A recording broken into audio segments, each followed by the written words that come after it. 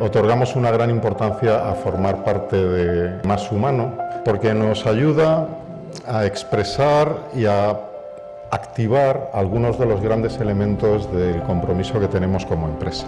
Nuestra misión es eh, ser un motor de cambio, tener un objetivo común, poder liderar ¿no? y transformar e impulsar esta revolución cultural que estamos viviendo, para implantar las nuevas formas de trabajo del siglo XXI, con dos componentes, humanizando el entorno y entendiendo que la clave está en las personas, una cultura humana, y que cada cosa que hagamos nos hagamos la pregunta, ¿responde a la cultura? ¿Responde a la misión? ¿Estoy realmente viviendo los valores de la compañía? Segundo, la coherencia. Tenemos nuevas formas de trabajo, hacer lo que digo. O sea, hay muchas nuevas formas de trabajar, pero hay que hacerlo, hay que implantarlo, hay que dar el ejemplo.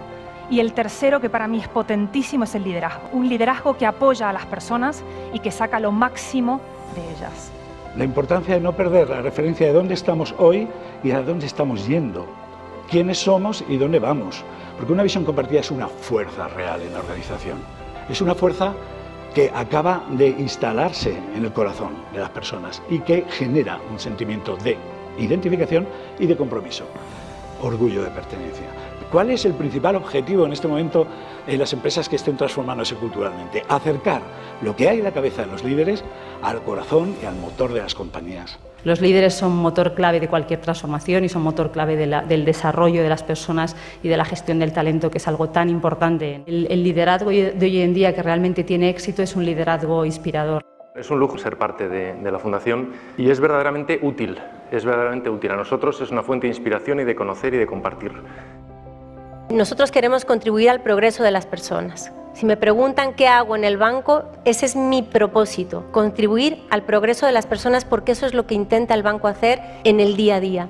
Eh, nuestra visión está construida a través de los cuatro stakeholders, eh, unos empleados que queremos que estén lo más satisfechos posibles, si están lo más comprometidos o lo más contentos posible, harán que nuestros clientes estén más satisfechos, que hagan más negocio con nosotros y de esa forma conseguiremos dar una rentabilidad mayor al accionista y conseguiremos revertir de alguna forma ese beneficio hacia la sociedad y luego a su vez nuestros empleados seguirán estando más comprometidos.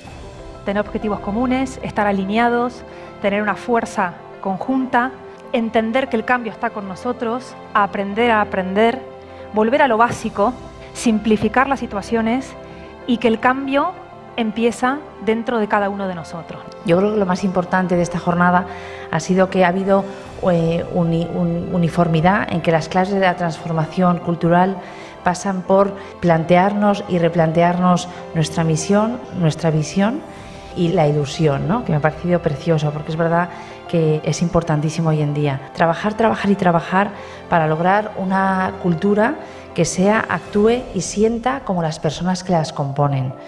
Al final, la clave está en las personas. La clave está en la huella que deja cada uno de nosotros al caminar día a día.